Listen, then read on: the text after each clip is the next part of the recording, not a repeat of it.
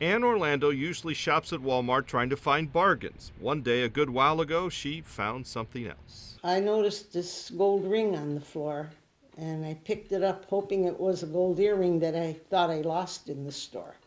Ann, who's 92, a widow after 65 years of marriage, who still cares for her 99 year old sister, took it upon herself to try and locate the ring's owner. I kind of felt bad because I figured it was a treasure for somebody. Right. And I wanted to make sure that it got back to the rightful owner.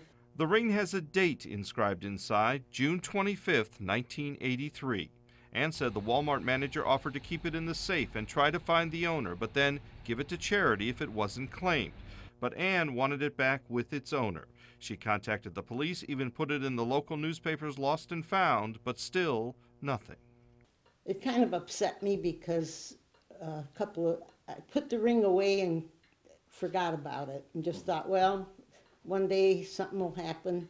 She took one more chance, writing to Fox 8 News, hoping we could put the ring and its story on TV and help Ann find its owner. With June fast, June 25th fast approaching, it would be nice to give it to them. I think this would have been their uh, 31st anniversary. She's right, and she's hopeful that the mystery will be solved before the anniversary later this month.